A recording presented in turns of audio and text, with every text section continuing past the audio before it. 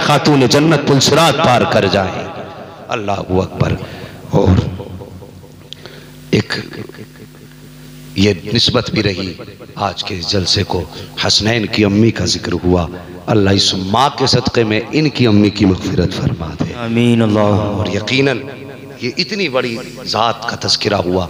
खुद सोचे, अगर तेरी मेरी माँ की तारीफ़ हो तो तेरा मेरा कलेजा ठंडा होता है। आज हमने हसनैन की अम्मी की बातें की हैं। यकीनन करबला वाले ताजदार भी मुस्कुरा रहे होंगे। हाँ मौला करीम, हम सबको माँ बाप की फर्मा बरदारी करने की तोफ़ी अदा फरमाए और हम सबको मुस्तफ़ा की आल और औलाद से ऐसा प्यार करने की तोफ़ी अदा फरमाए जैसा कि करने का हक़ है। हाँ अल्लाह हम सब के अकीदे की हिफाजत फरमाए। हाँ मैं मैं सिंगल पिस्टन ही हूँ भाई साहब, कोई बात नहीं। इन ये आधा घंटा किसी और दिन कर लेंगे। ना, मैं बस मेरी बात थोड़ी सी सुन लें। हाँ ज़रूरत है अकीदे की, हिफाजत की। है, आप मुझे कुछ नहीं देंगे, मैं आपको कुछ नहीं दे सकता। लेकिन अकीदा बचा के रखिए। अकीदा बचा के रखिए। सुन्नी वो है जिसका दामन ना सहाबा की गुस्ताखी से आलूदा हो न अहल बैत के बुग्ज में सना हो। ये सुन्नी की पहचान है। हाँ और यही हमारे हुजूर ने हमें दर्श दिया। बेशक। मेरे हुजूर ने जहाँ औलाद को भी अपने फरमाया कि मैं तुम्हारे बीच अपनी औलाद और कुरान छोड़ के जा रहा हूँ। ये जो कहा है ना हुजूर ने साथ में ये भी फरमाया सहाबी का नजूम मन इकतदई तुम एहतदई तुम हाँ मेरे सिद्ध मेरे सहाबा सितारों के मानिंदे हैं। तुम जिसकी भी इकतदा करोगे हिदायत पा जाओगे। ये हुजूर के सहाबा के ख़िलाफ़ कभी बकवास नहीं।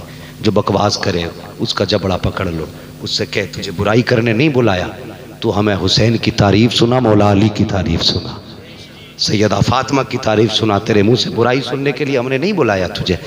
हाँ तारीफ़ सुना। तो ये कह के लोग आज लोगों को ईमान पे कब्ज़ा कर रहे हैं, डाका डाल रहे हैं। भाई, कामयाब वो नहीं है जिसने चार मंजिला मकान बना लिया। कामयाब वो नहीं है जिसके पास बीस बीस ट्रक हैं या दस दस मीलें हैं। कामयाब वो है जो अपना ईमान कब्र में बचा के ले गया। वो सबसे बड़ा कामयाब है जो ईमान बचा के ले गया। हाँ अगर ईमान ना बचा तो दुनिया की सारी भाग दौड़ बेकार है। इसलिए ईमान की हिफाजत करें। कोई भी आके धोखा दे, सहाबा की आड़ में अहले बैत के ख़िलाफ़ भोंके उसको भी अलग कर दो। अहले बैत की आड़ में सहाबा को भोंके वो भी हमारा नहीं है। हमने तो ये देखा है कभी अबू बकर हसनैन को कांधे पे बैठाते तो पैर सीने पे लगते हैं।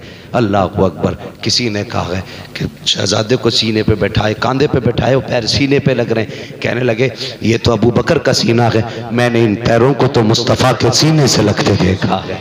क्या कहने इज्जतें उन्होंने की है ये प्यार उन्होंने किया है और अल्लाह अकबर पूरी ज़िंदगी आपकी ज़िंदगी गुजरी।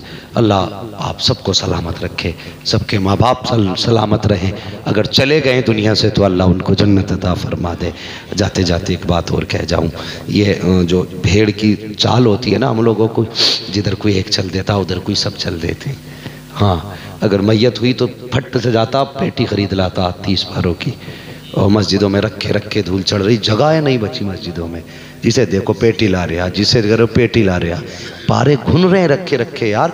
उनके पढ़ने की बारी नहीं आ रही है। और लेकिन पेटी हर तीसरे दिन नई पेटी हर तीसरे दिन नई पेटी। मकसद हमारा यही है ना कि आप पेटी ला के इसलिए रखे ताकि बंदा कोई कुरान पढ़े तो उसका सवाब हमारे मरने वाले को मिले। यही तो मकसद है ना।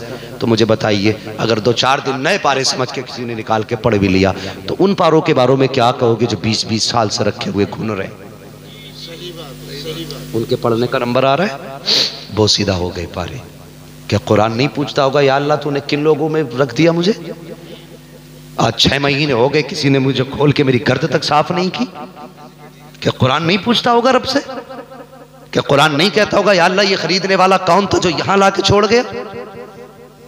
तो भाई, इस आले सवाब ही अगर मकसद है और कोई इंतकाल कर गया गया तो अगर बस्ती में कोई मदरसा हो, बस्ती में ना, पड़ोस में कोई मदरसा हो उसमें जाया करो। मोहतमीम प्रिंसिपल उससे जाके पूछा करो कि आपके मदरसे में अगर कोई ज़रूरतमंद बच्चा हो तो बताइए। अगर सर्दी में उसके पास बिस्तर नहीं है तो मैं चाहता हूँ मेरे बाप के इसाले सवाब के लिए एक गत्ता मेरी तरफ़ से हो जाए लिहाफ मेरी तरफ़ से हो जाए। अगर किसी बच्चे के पास गरीब का बच्चा है ना अक्सर होते मदरसे में गरीब के बच्चे हैं अमीरों के तो ख्वाब एम बी बी एस के होते हैं इनकी नज़रों में जन्नत के ख्वाब आते ही कब है, है? इनकी नज़रों में जन्नत के ख्वाब आते ही नहीं। तो ये गरीबों के अक्सर बच्चे होते हैं। अगर आपकी माँ का विशाल हुआ है तो कोई जैकेट लो मदरसे चले जाओ। किसी बच्चे का हाथ पकड़ो मार्केट ले जाओ बेटे खरीद जूते खरीद मोजे खरीद जैकेट खरीद। अल्लाह की कसम जब वो पहन के उसे पढ़ेगा और गरमाई उसमें आएगी और वो मुस्कुरा के जब कुरान पढ़ेगा कोई दुआ करे ना करे इधर तालिब इल्म का दिल खुश होगा उधर अल्लाह रहमत के दरवाजे तेरे मरने वाले की कब्र में खोल देगा। ये काम किया। जिसको देखो पेटी लिए आ रहा जिसे देखो पेटी लिए आ रहा। कभी कभार। और दूसरी बात, अल्लाह तौफीक दे। तो ईसाल सवाब ही की तो नीयत है। किसी भी तालिब इल्म को जाओ, उसकी जेब में पैसे डाल दो कितनों पे नाश्ते का खर्चा नहीं, अपनी तरफ़ से लगा दो। और मैंने तो इतनी बरकतें कुरान पढ़ने वालों की देखी हैं, इतनी बरकतें कुरान पढ़ने वालों की देखी हैं। कि जिस घर में रोटी के लाले थे ना उन्होंने एक पढ़ने वाले को अपने घर पे लगा लिया। कि हज़रत जी एक कुरान पढ़ने वाला बच्चा हमारे घर लगा दें। हम इसे खाना खिलाना चाहते तुम सोच भी नहीं सकते। तुम्हारी मेहनत से अल्लाह उतना नहीं उतारता जितना कुरान पढ़ने वाले की बरकत से तुम्हारे घर में अल्लाह उतार देगा। बेशक। एक तो कुरान वाला दूसरा मेहमान तीसरा भूखा। तीन निस्बतें उसके पास है। और भूखा तो अगर कुत्ता भी हो उसे खिला दो। अल्लाह कबूल कर ले तो जन्नत मिल सकती है। और फिर ये तो है भी मुस्तफ़ा का मेहमान। है? ये तो है भी मुस्तफ़ा का मेहमान। हो मेहरबानी करो। कुरान पढ़ने वालों की इज़्ज़त भी किया करो। कदर किया करो इनकी। हज़रत इमाम आसिम ताला अलैह। एक दिन ख्वाब में थे, सो रहे थे, ख्वाब में हुजूर आ गए। ख्वाब में हुजूर आ गए। तो ये राज कब खुला? जब एक दिन दरसगाह में पढ़ा रहे थे। पढ़ाते पढ़ाते शागिर्द कहने लगे, हुजूर, जब आप कुरान पढ़ते हैं तो आपके मुँह से मुझको अंबर की खुशबू क्यों आती है? आपके मुँह से मुझको अंबर की खुशबू क्यों आती है? जब इतनी बात कही ना तो कहने लगे, ये राज है। तो बच्चे, कुछ बड़े मुँह चढ़े बच्चे होते हैं ना, बड़े करीबी उस्ताद के लगे हुए। कह, नहीं नहीं नहीं, बताओगे? हम तो जाएँगे नहीं। क्या अच्छा पूछोगे ज़रूर? कहा हाँ। फरमाने लगे, एक दिन मैं सो रहा था, ख्वाब में हुजूर आए, मुझसे फरमाने लगे, मेरे कारी जरा कुरान पढ़ के सुना। कहा मैंने कुरान पढ़ना शुरू किया, हुजूर ने अपने लब लगा के मेरे लबों को चूमा। फरमाते जिस दिन से हुजूर ने चूमा गए, जब भी कुरान पढ़ता हूँ, मुझको अंबर की खुशबू आया करती है। हाँ तो ये इनकी शान है और ये कयामत के दिन भी पता चलेगा। अल्लाह फरमाएगा, जाओ मेरे कुरान वालों को ढूंढ के लाओ।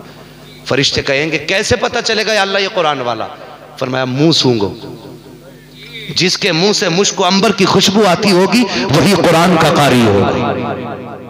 तो ये इनकी शान है। इनकी कदर करें इनकी इज़्ज़त करें। बंदा कह देता इमाम साहब ही तो है।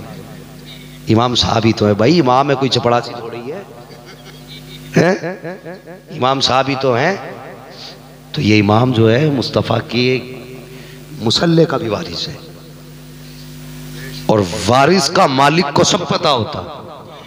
ये याद रखिए बादशाह को वज़ीर की सब खबर होती है। किसने क्या खिलाया ये भी मुस्तफ़ा जानते। किसने क्या सुनाया ये भी मुस्तफ़ा जानते। याद रखना, जो उलमा की, अइम्मा की, कुरान वालों की मुखालफत करते हैं, उनका अंजाम अच्छा नहीं होता। सबसे पहली सजा तो ये रखी अल्लाह ने कि जो उलमा की मुखालफत करेगा, सात पुश्तों तक अल्लाह उसके खानदान से इल्म उठा लेता है। ये छोटी सजा नहीं है, ये बहुत बड़ी सजा है। ये सजा उससे पूछो जो मौत के दरवाजे पे खड़ा हो और चार बेटे सामने हो और किसी बेटे को सूर्य फाथा नहीं आता। उससे पूछो कितना बड़ा आज वो मनहूस होकर दुनिया से जा रहा है। सबसे बड़ा बेवकूफ़ है वो, जिसको खुदा ने चार बेटे तो दिए, लेकिन एक बेटा भी कुरान की खिदमत में न लगा सका। सबसे बड़ा बेवकूफ़ है इसलिए कि ये फ़िक्र कब होगी? जब साँसें रुकेंगी, तब कहेगा, हो, हमारा भी तो हिसाब उल्टा है। जगम भाई, हॉस्पिटल में लोग जाते हैं। वो आईसीयू में रखा तो ये जूस की थैली लेके जा रहे हैं। एक दर्जन केले, एक किलो सेब, किसके लिए? भाई, वो तो आईसीयू में रखा है। तो ये फल पे फल लेके जा रहा है। मगर वो देखता ज़रूर है।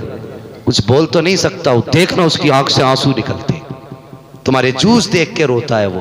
तुम्हारे फल देख के रोता है। वो इसलिए नहीं, हाय, मैं इन्हें खा नहीं पा रहा हूँ। हाय, मैं इन्हें पी नहीं पा रहा हूँ, इसलिए नहीं। वो इसलिए सोच रहा, काश तुम इस जूस की जगह कोई मेरे लिए कुरान का कारी बुला लाए होते। कोई सूर्य रहमान का पढ़ने वाला ले आए होते। कोई सूर्य यासीन वाला ले आए होते। लेकिन हमारे हाल ये है कि जूस ले लेके जा रहे हैं, लेकिन कोई पढ़ने वाला नहीं जा रहा। लेकिन वो नसीब वाले हैं, जिनके खानदान में हाफिज है, जिनके घर में कारी है। फिर बंदा बेबसी की मौत नहीं मरता।